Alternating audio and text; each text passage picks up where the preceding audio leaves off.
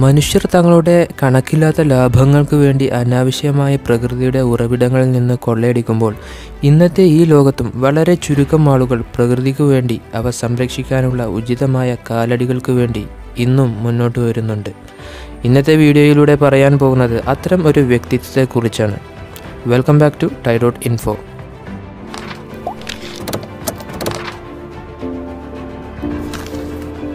ആയിരത്തി തൊള്ളായിരത്തി ഇരുപത്തിയേഴ് ജനുവരി ഒൻപത് ഉത്തരാഖണ്ഡിലെ തെഹ്റിയിലെ മറോദ ഗ്രാമത്തിൽ സുന്ദർലാൽ ബഹുഗുണ എന്നവർ ജനിച്ചു. തികഞ്ഞ ഒരു എൻവിറോൺമെന്റലിസ്റ്റും ചിപ്കോ നേതാവുമായ അദ്ദേഹം പ്രകൃതി സംരക്ഷിക്കുന്നതിൽ ഒരു അപൂർവ രത്നം തന്നെയായിരുന്നു.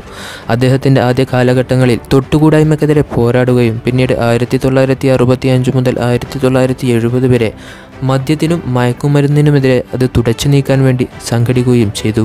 സാമൂഹ്യ പ്രവർത്തനങ്ങളിൽ താൻ പങ്കെടുക്കാൻ തുടങ്ങിയപ്പോൾ വെറും പതിമൂന്ന് വയസ്സ് മാത്രമായിരുന്നു ബഹുഗുണയ്ക്ക്. അക്കാലത്തെ തെഹ്റി ജില്ലയിലെ മുഖ്യ സാമൂഹ്യ പ്രവർത്തകനായിരുന്ന ശ്രീദേവ് സുമൻ എന്നിവരുടെ ശിഷ്യനായിരുന്നു ബഹുഗുൺ. മഹാത്മാഗാന്ധിയുടെ അനുയായി കൂടിയായ അദ്ദേഹം ഗാന്ധിജിയുടെ അഹിംസാ തത്വവും മുറുകെ പിടിച്ചു. സ്വതന്ത്ര സമയത്ത് ഉത്തർപ്രദേശിലെ കോൺഗ്രസ് പാർട്ടിക്കൊപ്പം അദ്ദേഹവും ഉണ്ടായിരുന്നു. വിമല എന്നിവരെ വിവാഹം ചെയ്തതിനു ശേഷം ഇരുവരും ഗ്രാമീണ പശ്ചാത്തലത്തിൽ പോയി അവിടെ ഒരു ആശ്രമം ആരംഭിച്ചു. അദ്ദേഹം ഏറ്റവും കൂടുതൽ തന്റെ സമയം ചിലവഴിച്ചത് ആയിരത്തി തൊള്ളായിരത്തി എഴുപത്തിനാല് മാർച്ച് ഇരുപത്തിയാറിൽ ആരംഭിച്ച ചിപ്കോ മൂവ്മെന്റിന് വേണ്ടിയായിരുന്നു. മരങ്ങളും കാടുകളും സംരക്ഷിക്കാൻ വേണ്ടിയായിരുന്നു ഈ ഒരു പ്രസ്ഥാനം. ചിപ്കോ എന്ന വാക്കിന് ഹിന്ദിയിൽ ആലിംഗനം ചെയ്യുക എന്നാണ് അർത്ഥം. ഈയൊരു മൂവ്മെന്റിൽ കാടുകൾ നശിപ്പിക്കാനും മരങ്ങൾ മുറിക്കാനും ഉദ്യോഗസ്ഥർ വന്നപ്പോൾ കാടുകൾ നശിപ്പിക്കാൻ സമ്മതിക്കാത്ത വിധം ആളുകൾ മരങ്ങളോട് ചേർന്നു നിൽക്കുകയും കെട്ടിപ്പിടിക്കുകയും ചെയ്തു. ആയിരത്തി തൊള്ളായിരത്തി എൺപത്തി ഒന്ന് മുതൽ ആയിരത്തി തൊള്ളായിരത്തി എൺപത്തി മൂന്ന് വരെ അയ്യായിരം കിലോമീറ്ററോളം ഹിമാലയ മാർച്ച് നടത്തി ഗ്രാമങ്ങളിൽ നിന്ന് ഗ്രാമങ്ങളിലേക്ക് ഈ ഒരു പ്രസ്ഥാനത്തിന് അദ്ദേഹം പിന്തുണ ശേഖരിച്ചു. ചിപ്കോയുടെ മുദ്രാവാക്യം സൃഷ്ടിച്ചതാണ് അദ്ദേഹത്തിന്റെ ശ്രദ്ധേയമായ സംഭാവനകളിൽ ഒന്ന്. എക്കോളജി ഈസ് പെർമനന്റ് എക്കോണമി അഥവാ പരിസ്ഥിതിയാണ് ശാശ്വത സമ്പദ് വ്യവസ്ഥ എന്നായിരുന്നു ഈയൊരു മുദ്രാവാക്യം. കൂടാതെ ടെഹറിയിലെ ഡാം നിർമ്മാണ പ്രൊജക്റ്റിനും സുന്ദർലാൽ ബഹുഗുൺ എതിരായിരുന്നു. ഗാന്ധിയുടെ തത്വങ്ങൾ ശക്തമായി പിന്തുടരുന്നതുകൊണ്ട് തന്നെ അക്രമത്തിന്റെ വഴികളിലൂടെ അദ്ദേഹം ഒരിക്കലും പ്രകൃതി സംരക്ഷിച്ചിരുന്നില്ല. കൂടുതൽ സത്യാഗ്രഹ തന്ത്രങ്ങളായിരുന്നു അദ്ദേഹം ഉപയോഗിച്ചിരുന്നത്.